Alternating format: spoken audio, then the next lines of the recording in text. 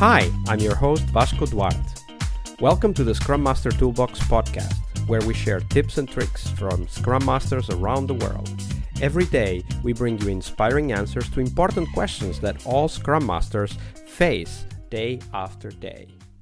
Hello, everybody. Welcome to our product owner and TGIF episode. And uh, we're in a terrace with Rayyan Karim this week. Hi, Rayyan. Welcome back. Hey, guys. Thanks for having me. Merry Friday. Absolutely. Let's imagine we're in that terrace over there next to the seaside in Spain in some warm, sunny place. And uh, we're just chatting, and uh, somehow the product owner conversation comes up. And uh, we'll talk about a great product owner in a minute. But uh, let's start with the mostly uh, or sometimes the most interesting and definitely the most intriguing question, which is Rayyan, share with us what was potentially the worst product or anti pattern you've witnessed in your career? Okay, so no names and no organizations, but uh, the, the, worst scenario I've ever seen is when a business analyst is told they're a product owner overnight with no training, um, no real commitment to a change in title or a job description.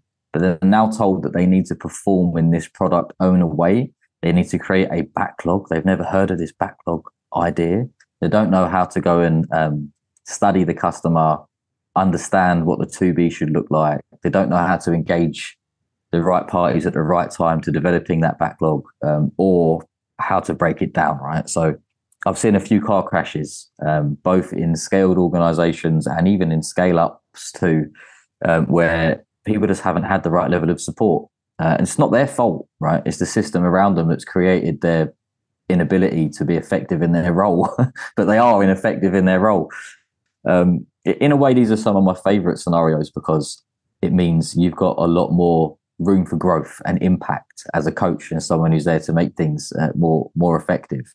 Um, but yeah, there, has been some terrible instances where. So, so walk us um, through, like, what what happens? Like, you know, the uh, let's say Mary, the business analyst, uh, got a call from her boss yesterday. Uh, it was like five thirty p.m., so just about the time she was about to leave. She had no time because she had to go and meet someone to to to you know to talk to the previous product owner or other product owners. She just got the call. Hey, tomorrow you're the product owner, and by the way, you have sprint planning. What happened? Yeah is a car crash. Um, so you're not able to plan effectively because they don't even have the information that would be required to plan effectively. They don't know who the customer is. They don't know what the customer's goals are. They don't know how they're going to measure that. Um, but they don't know the scope of work that's going to be broken down to, to even deliver it.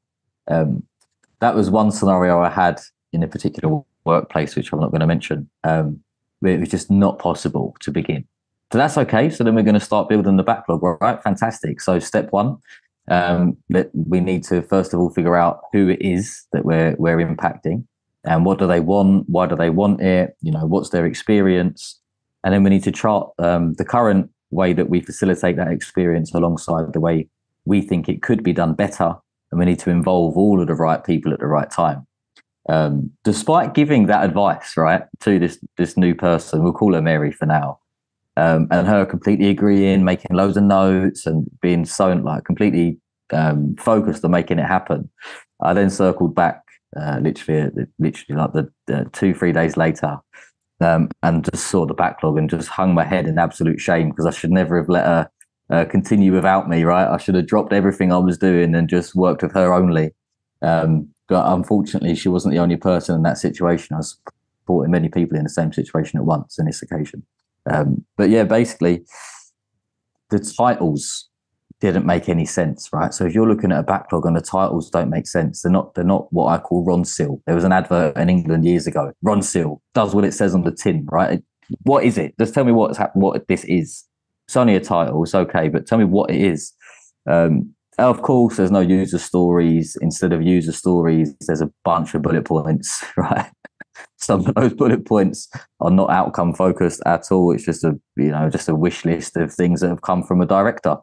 Uh, and the BA has been a BA and made notes, and now we've got a bunch of notes with a title that doesn't make any real sense, um, and no way of measuring it. Um, so no way of proving the value, no way of proving um, the behaviour that we'd want to see um, as a result of that user story. Uh, just an absolute car crash, really. So Um, that's probably the worst PO I've worked with.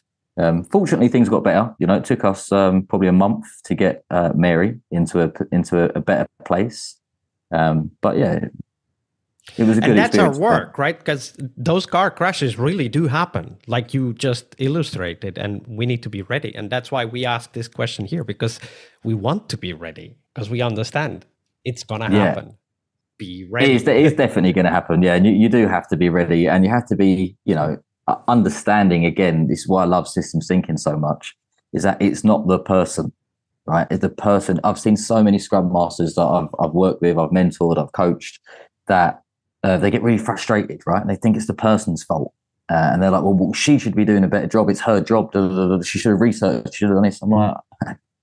She goes to work. There's a whole entire organization around making Mary successful and the organization is not able to serve Mary. So Mary therefore cannot be effective. So what do we need to change around Mary so that Mary can be effective?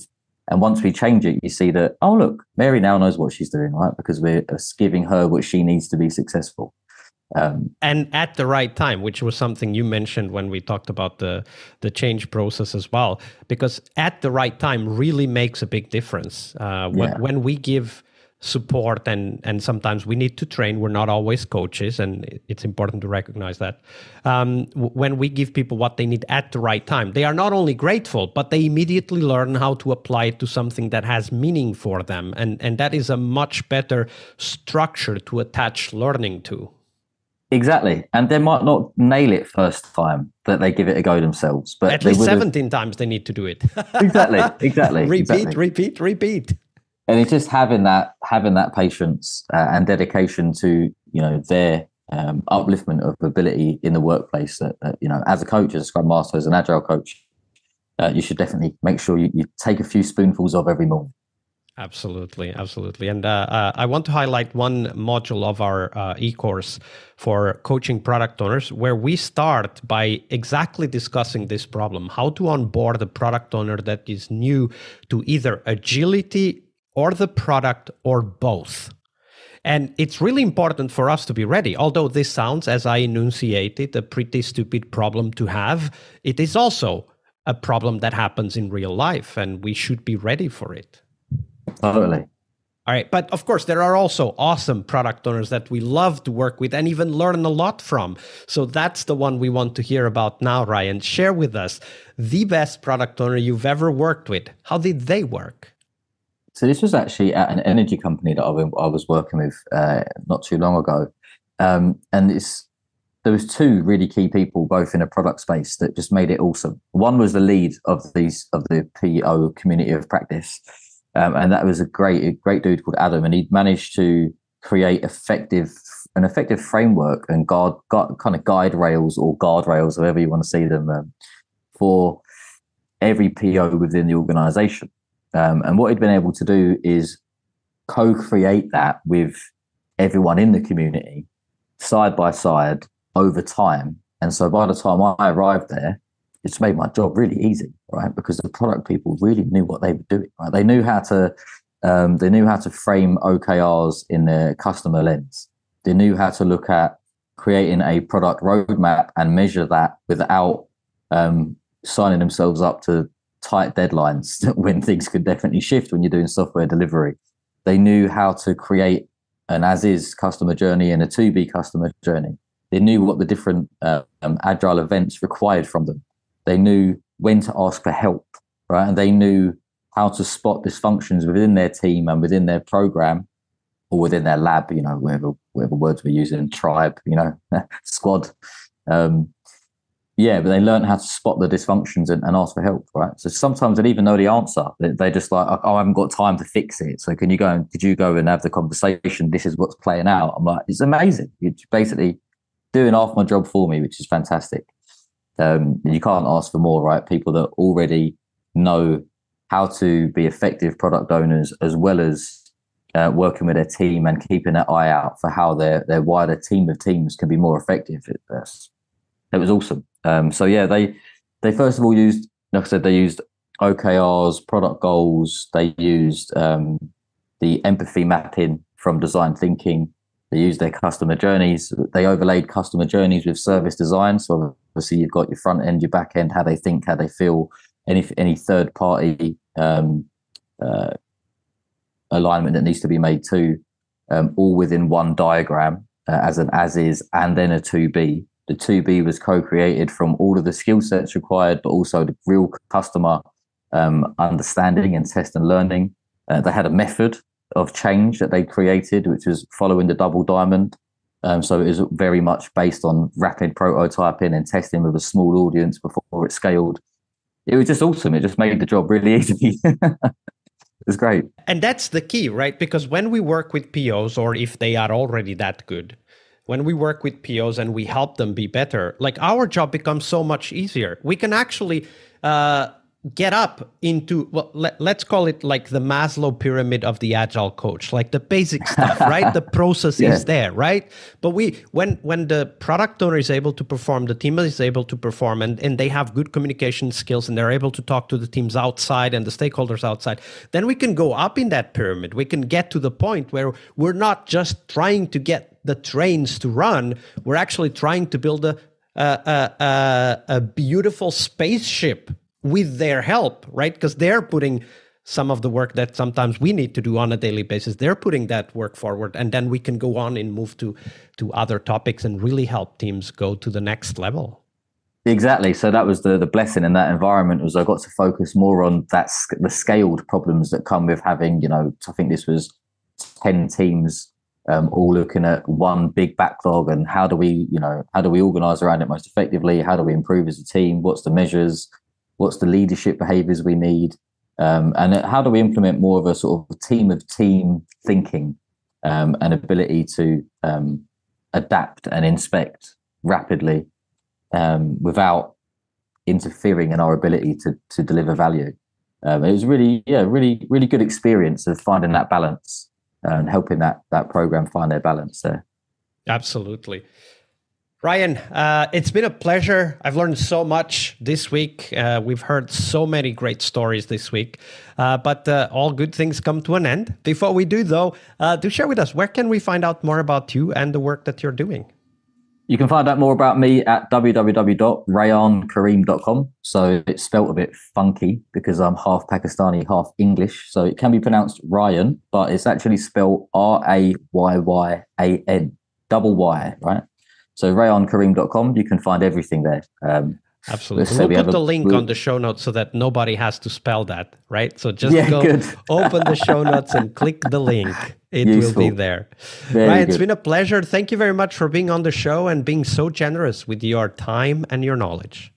Thank, thank you, Vasco. It's been a pleasure. Thanks, guys, for listening. One more week of the Scrum Master Toolbox podcast is over, but there's a lot more we have to share we have developed our own membership site where you find a community of active and engaged Scrum Masters. In this site, you get access to exclusive content and get to interact with us, your podcast hosts, as well as the best Scrum Masters in the world. So join us at scrummasterpodcast.com and keep this podcast free of advertising. See you next week for one more full week of Scrum Master tips and tricks. We really hope you liked our show. And if you did, why not rate this podcast on Stitcher or iTunes? Share this podcast and let other Scrum Masters know about this valuable resource for their work. Remember that sharing is caring.